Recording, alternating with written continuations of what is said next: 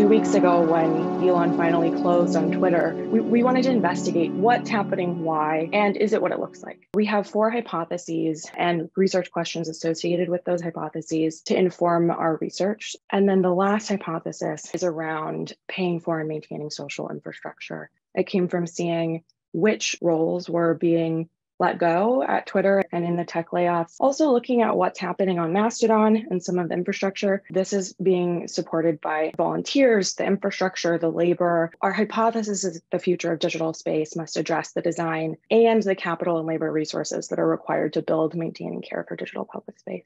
What, what anxiety that I have is that uh, Twitter under Elon Musk and this thing will actually he won't either be pushed out and be replaced with something that works or implode in a way that we get replaced. That we end up with a very large continuing to survive organization that distorts the the public sphere like Truth Social on a thousand steroids. And so my my fear is that it will either not get fixed and be good, you know, and have a path towards sustainability and openness or go away completely. A lot of responsibility falls on the, the people running and starting the instances. God bless them. I'm funding out of my school the Journa.host that Adam Davidson started.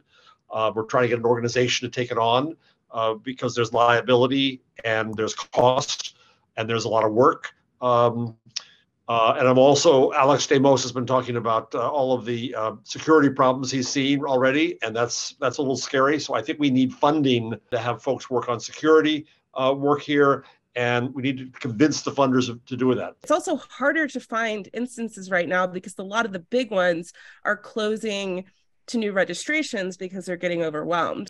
To me, the surprising part looking at the Fediverse is that this is something that has been around essentially for a decade or so. The reason it's available to this broader community of people to adopt is because there was a decade of people building versions of it and fixing it and figuring out how it works and making standards. And Mastodon comes five years into that decade long process by which someone came along and, you know, one developer came along and said, I'm going to make this much easier to use it's important to say that like it's not just this new thing it's this thing that's been always there and been working on as this alternative because in 2007 and 2008 we had discussions about why it would be a problem for twitter to be this closed monolithic thing was it just a corporate decision was it just uh, company politics of oh my god the vcs want us to have uh, equity value, or was it a philosophical thing? That's a really interesting question. So I, I spoke to Fred Wilson before doing the, the uh, decentralized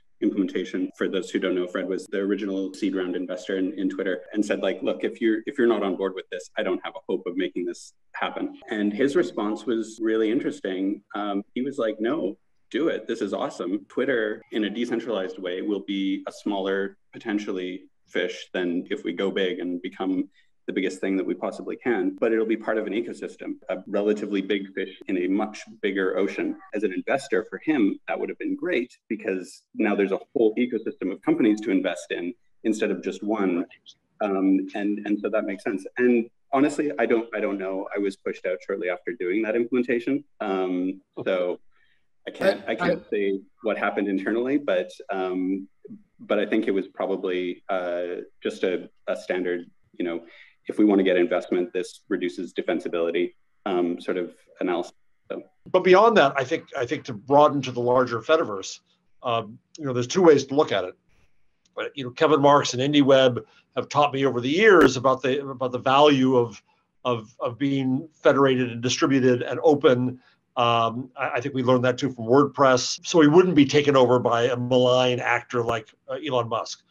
But I also think there's the positive way to look at, at this federated world. What I look forward to is the creation of new valued services atop this open uh, structure. The most important thing that I see is getting developers excited uh, and entrepreneurs too, if I can use the dirty words of capitalism, uh, about building services atop this distributed world.